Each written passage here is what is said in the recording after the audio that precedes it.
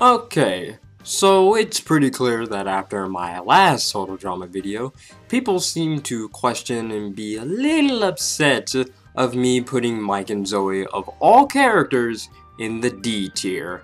And all I can say to that is, You bet your sweet bippy I did. Now, I know I'm not getting comments of people saying that they're unsubscribing or that they hate me or anything of the sort. No, I just thought it would be fun explaining why I did it and why I stand by that choice in the first place. Me not liking Mike and Zoey isn't really a secret as well. Hell, I even did even suggest making this type of video over a year ago. So the idea isn't anything new, but my reasons for such actions will be. Now, the biggest thing I'll say before I start this is, I'm sorry, Ricky.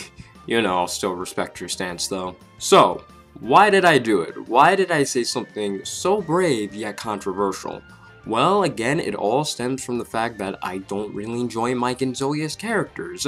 I don't downright hate them because if that was the case, I would have just shoved them into the E tier or the F tier. You know, the tiers with Dave and Staci, but I didn't.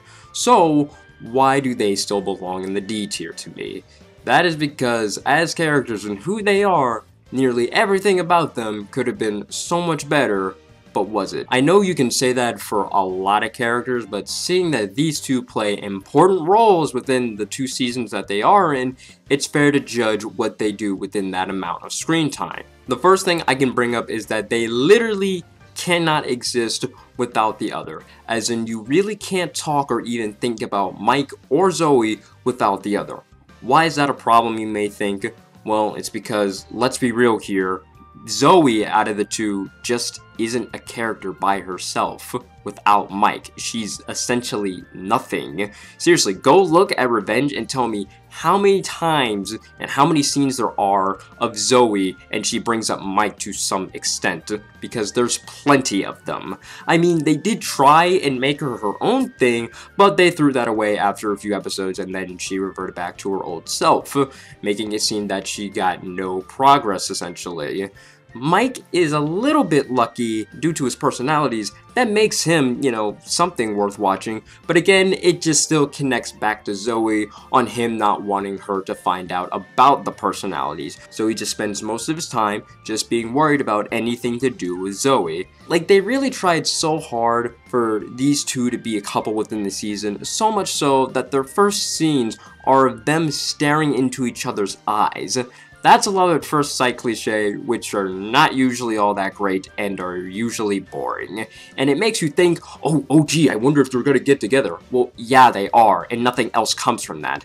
Not all love at first sight moments are terrible, but these two being together gives off more force than a Star Wars movie. Now, some of you might think, um, but didn't you say that in your tier list video that you would put most of the R&R cast together? What makes them so much better? Because they're depending on one another. Well, one, that was the whole point of the season. Everyone in this case had someone to always work off of. Two, the ones that did make it further within the season did get character development to stand out on their own without their partner. The regular seasons did this in the opposite way of introducing characters and what they were known for first, and then they had some sort of partner. Take this for example.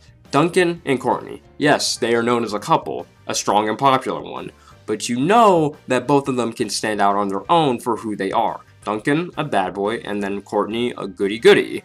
I can take it a step further by showing another couple within the Revenge cast itself, that being Sam and Dakota. First, they were introduced for who they were Sam, a gamer, Dakota, fame hungry. Both of them fine on their own. Now, you put them together, it's great, but once more with Mike and Zoey, they can't really do that, and if you try to, there's only so much you can talk about without bringing up one or the other. Mike at least has his personalities, and Zoey's, well, just eye candy, let's be real. Now, them being forced together 24-7 isn't my problem.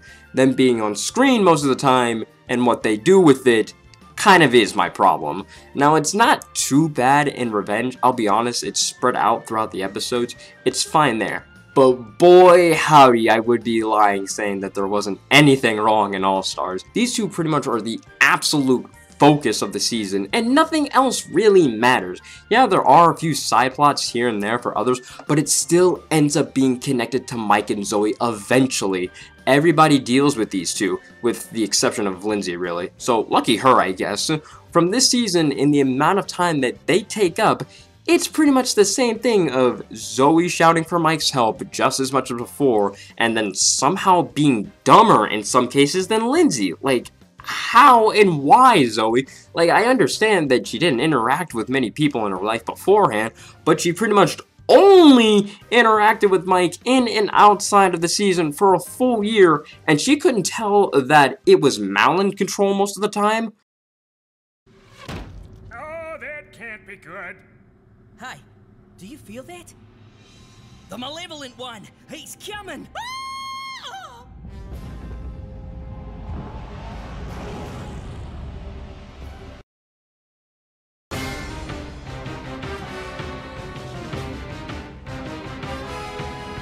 Which brings me to my next point.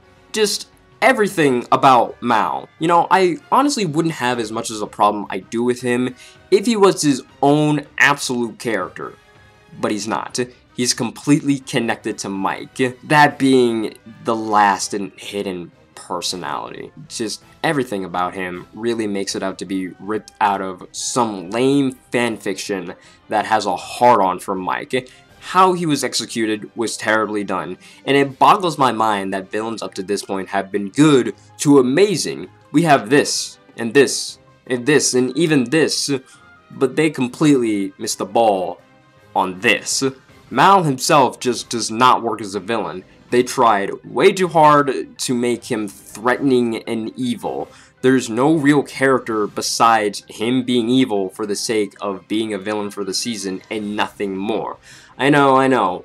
Why am I talking about Mal when this is a video focused on Mike and Zoey?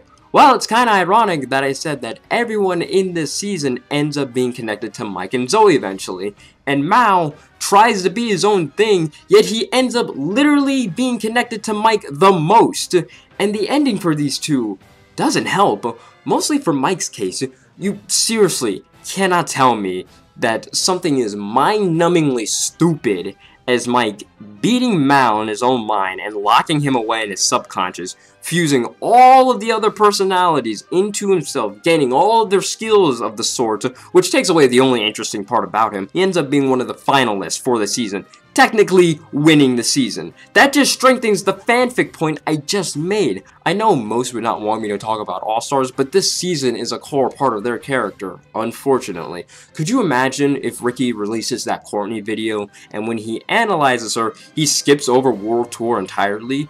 Yeah, that's a controversial season for her, but it's still a core part of her character and everything to do with her. The same thing goes for these two. After all that, that's why I put them in the D tier might think that I do hate them, but again, I don't. The D tier was mostly made for characters that I don't care as much, and I don't care much about Mike and Zoey. Funny how I'm saying that while making this video, but you get what I'm saying. I find them to be overrated and not all that special as people make them out to be. I just don't see it, and then when people say like, oh, they're, they're just amazing characters. I don't see that aspect. So Please tell me where you see the amazing part, because I certainly do not. But looking back on the list, there is one other person that has been getting questioned on their placement just as much as Mike and Zoey. And you know what? I do feel that I should change it as well.